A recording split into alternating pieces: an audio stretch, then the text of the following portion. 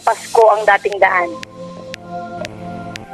Ah, salamat sa pagtatanong kapatid na Rosela no. Huwag mo naman kaming pagbintangan na wala kaming Pasko. Meron kaming Pasko kapatid. Basahin natin si Luz ang unang Korinto 5.7.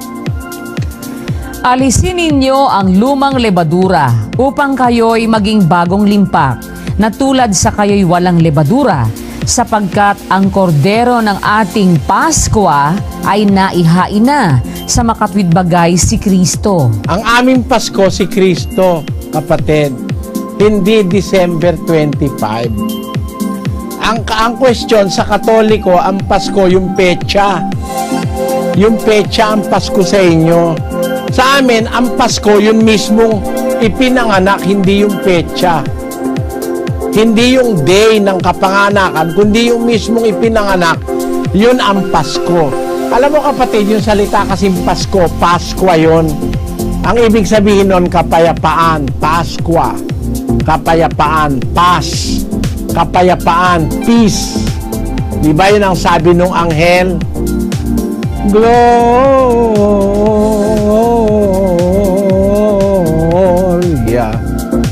in excelsis Deo Gloria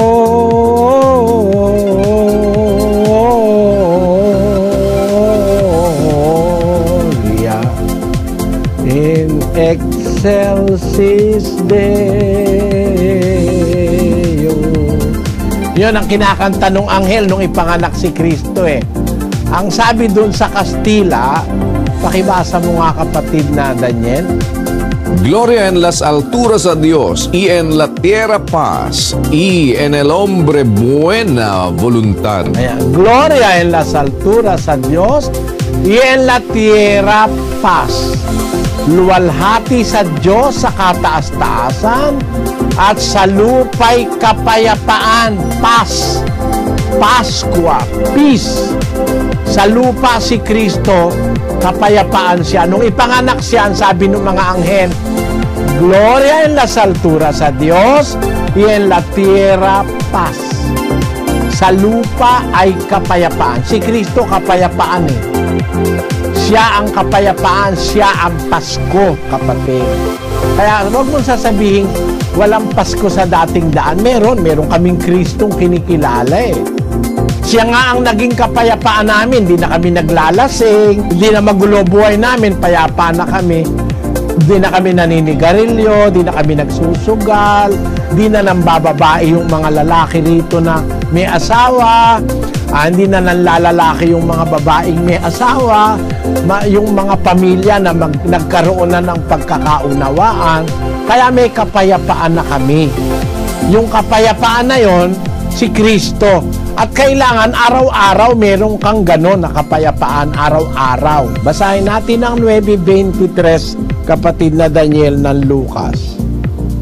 At sinabi niya sa lahat, kung ang sino mang tao ay ibig sumunod sa akin, ay tumanggi sa kanyang sarili at pasanin sa araw-araw ang kanyang krus at sumunod sa akin. Susunod ka kay Kristo sa kanyang kapayapaan, araw-araw meron kang Pasko. Araw-araw payapa ang buhay mo, hindi ka maglalasing araw-araw. Araw-araw tahimik ka, hindi ka manggugulo, araw-araw walang drugs. Susunod ka kasi kay Kristo. Siya yung Pasko, siya yung kapayapaan. Eh kayo mang katoliko eh, di ba pangarap nyo rin yun?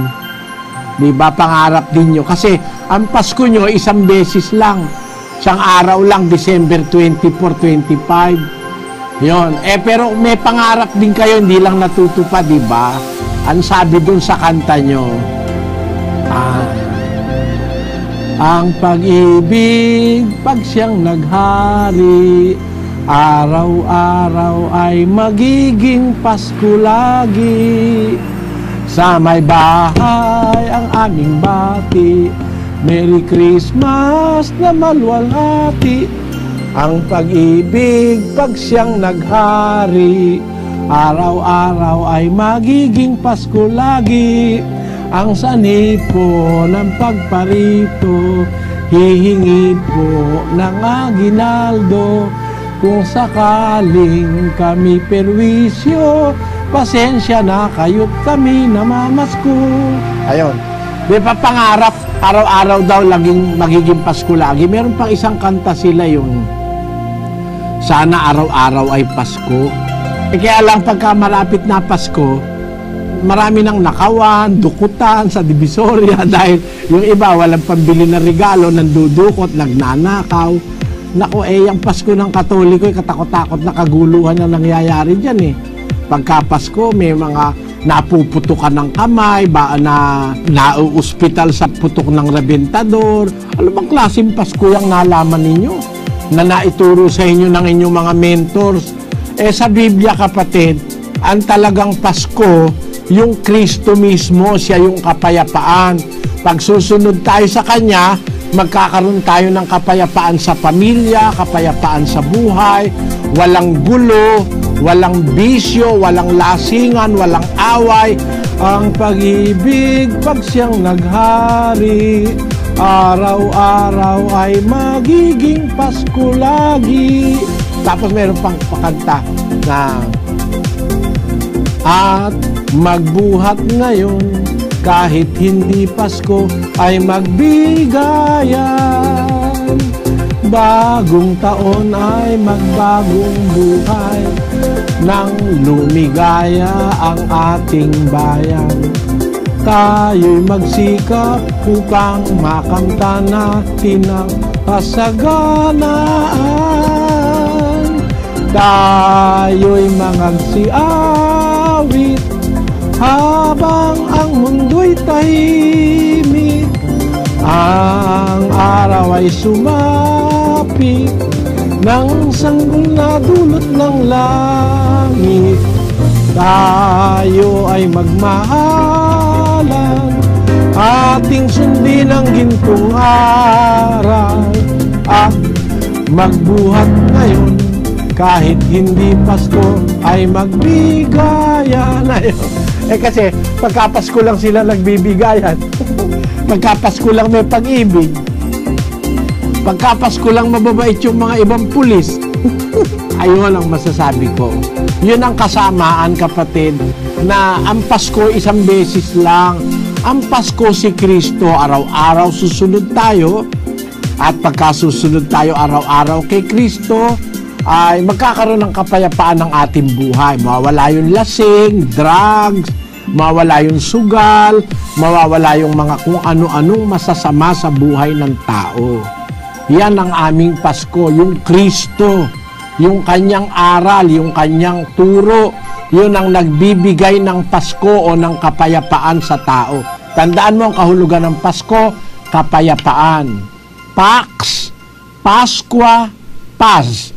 Ang kahulugan niyan iisa, kapayapaan. Si Kristo yan, nagbibigay ng kapayapaan sa tao pag sumunod tayo sa Kanya. Yan ang pagkakaiba natin. Yung Pasko nyo, pecha. Ang Pasko namin si Kristo. Malaking pagkakaiba. Yung Pasko nyo, uh, may sumat kusilba. Pasko nyo, may regalo, merong paputukan, may inuman, ang Pasko nyo, kung ano-anong mga kalayawan. Ah, pagka Pasko, may misa de Gallo, wala naman sa Biblia. Biro mo, misa de Gallo, misa ng, misa ng tandang, misa ng tandang. Eh, wala naman sa Biblia yung, pati ba naman tandang may misa? Misa de Gallo. Ayan. Misa ng tandang. Wala sa Biblia yan. Tandang yung lalaking manok.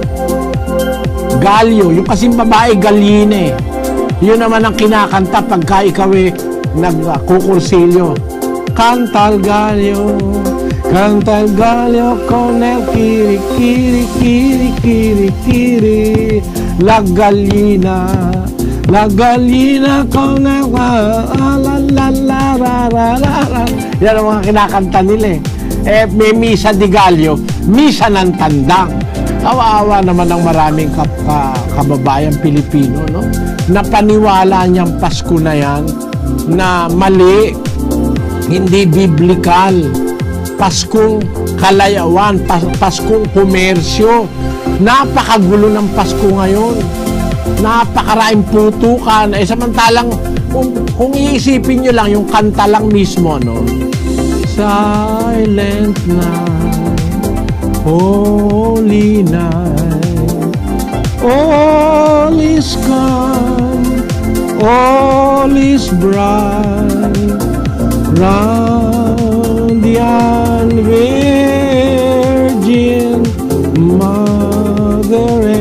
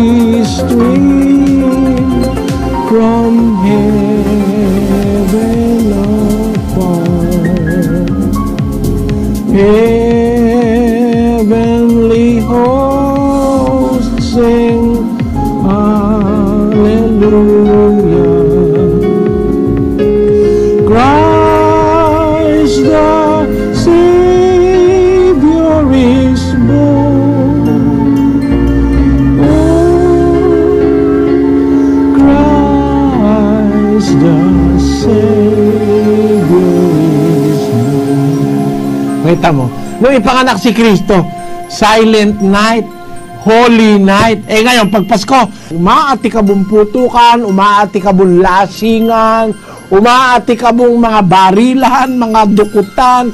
Hindi na talaga Pasko yan. Revelry na yan, revelry. Ha? Rebellion, hindi na Pasko. May putukan eh. Takot-takot na gulo. Lasingan sa kabi-kabila. Kainan kabi-kabila. Eh, sabi dun sa kanta nyo, kayo na rin mismo gumawa nun. Silent night, holy night. All is calm. Calm? All is calm. Kalmado. Eh, kalmado ba kayo pag Pasko? Hindi nga kayo kalmado eh. Ha? Eh, lumalabas mali. Kaya dyan tayo nagkakaiba kapatid. Pasensya ka na ha. Ayoko namang sabihin sana yung makakasakit sa'yo. Kaya lang, tinatanong mo kasi ako eh. Magkaiba tayo. Sa Pasko pa lang, magkaiba na. Tapos, sa Katoliko, sumasamba kayo, lumuluhod kayo sa mga kahoy, saka sa bato. Bawal ng Diyos yun eh. 17.29 ng gawa. Pakinggan. Yamang tayo nga'y lahi ng Diyos, ay hindi marapat nating isipin na ang pagka-Diyos ay katulad ng ginto o ng pilak o ng bato na inukit ng kabihasnan at katalinuhan ng tao. Di natin dapat isiping may pagka-Diyos doon sa bato, sa pilak, sa ginto, sa kahoy, kung ano-ano pa na inukit ng kabias na ng tao. Kaya kami hindi kami lumuluhod sa ganyan. Bawal ng Diyos yan eh. Bawal ng Diyos yan. Eh kayo, pinapaluhod kayo dyan sa kahoy, sa bato, sa tanso, kung ano-ano pa. Ngayon may plastic pa eh. Meron pa styrofoam. Yung mga nilalagay sa taxi na kinukurus-kurusan ng mga taxi driver, eh styrofoam pa eh. Yan, yan ang sagot ko sa iyo kapatid. Please subscribe my channel Melrap CV and click on the bell icon. Thank you.